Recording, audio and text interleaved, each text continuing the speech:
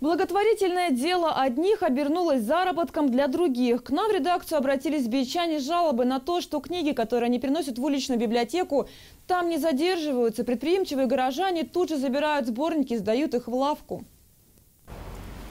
Как нам сообщила пожилая пара, свою домашнюю библиотеку они собирали почти полвека. После того, как в Бийске появился уличный книжный домик, они решили поделиться литературой с бичанами. Периодически пенсионеры пополняли полки дорогими сборниками.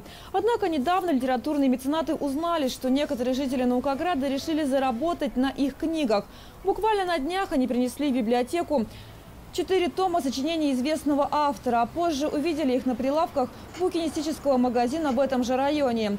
В связи с этим мы напоминаем, что уличная библиотека создана с некоммерческой целью. Любой желающий может взять понравившуюся книгу и желательно взамен принести другую, чтобы уличная библиотека не пустовала.